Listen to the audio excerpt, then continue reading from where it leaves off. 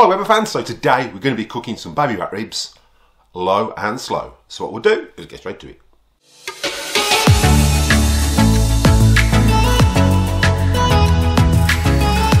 Hi Weber fans, welcome back to the channel. Again, those who are new to the channel, if you're getting value out of this content, then contemplate showing support by slapping that subscribe button, it's absolutely free.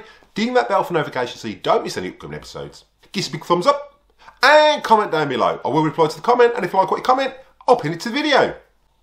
Right, so I said in today's video, we're going to be cooking some baby back ribs, low and slow, and we're going to be making some barbecue sauce, and we're also going to be making our own marinade to go with it.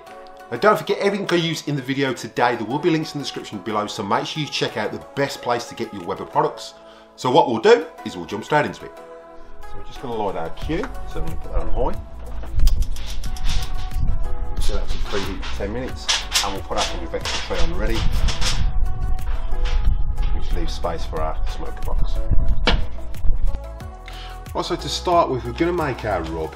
Now I like to make my own rub. You can buy a stock rub if you like but we're going to make our own and I will put in the description below the ingredients for the rub that I'm actually making. So you need a bowl, again mixing bowl and we're going to use 3 quarters of a cup of brown sugar. Then we're going to add a tablespoon of black pepper, 2 tablespoons of coarse salt.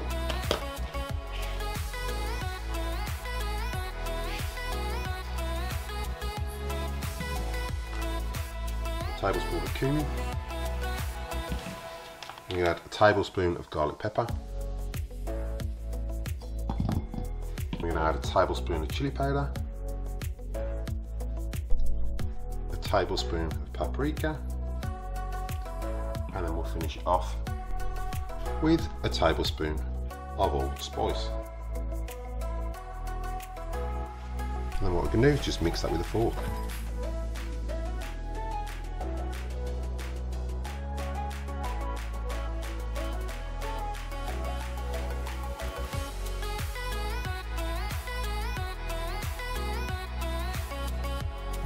And now it's all mixed up, there's no big lumps in there. So now we're ready to get the ribs out. The next step? We're gonna peel the membrane off the back of the ribs. Now what I tend to do is just use a normal butter knife or a normal knife. I'm just gonna lift it under the back of the membrane there.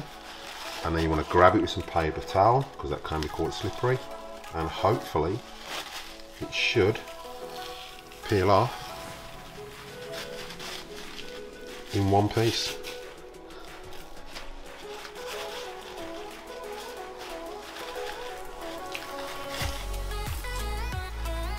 Like so.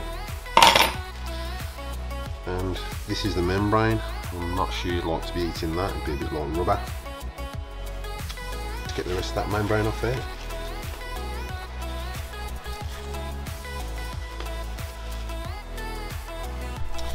So next up we're going to get our rub all over this meat. Sprinkle it on and get that all rubbed in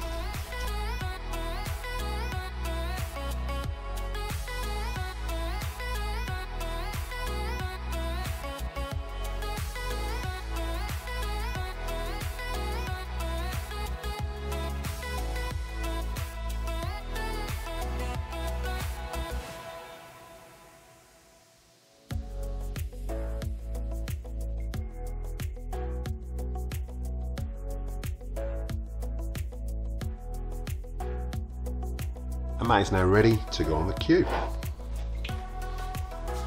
So we're just going to make our basting sauce now.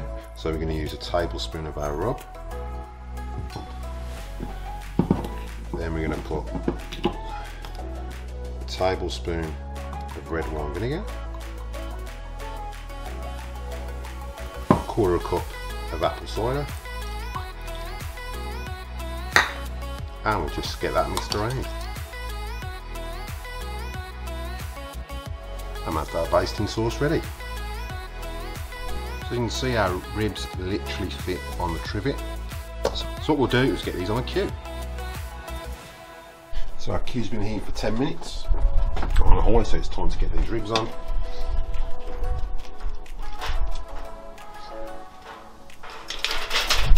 And we'll get our smoker packet on as well. And we'll come back, turn that down to, what we'll do now is turn that down to come back in about 45 minutes to baste them. Alright, so we've been cooking now for about 45 minutes, so we're just going to baste these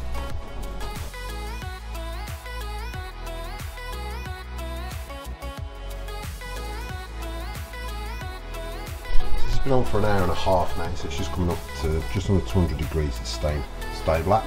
So just lift it up and give another baste.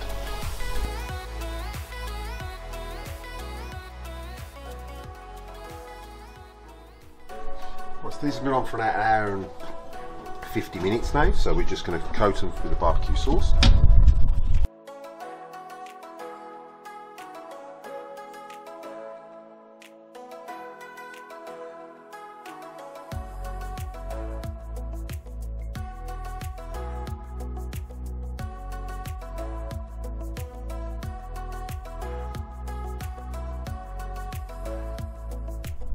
Been 10 minutes, so it's time to take the ribs off.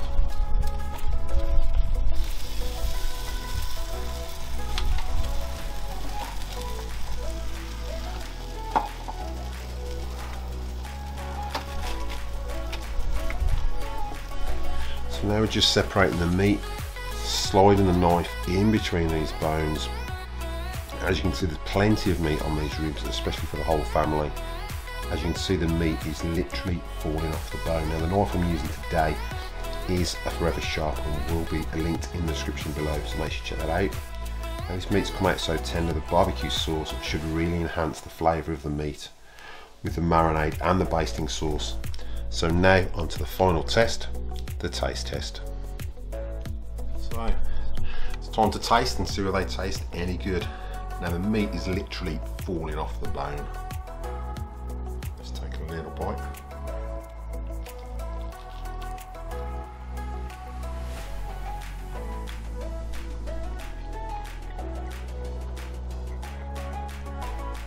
Mm.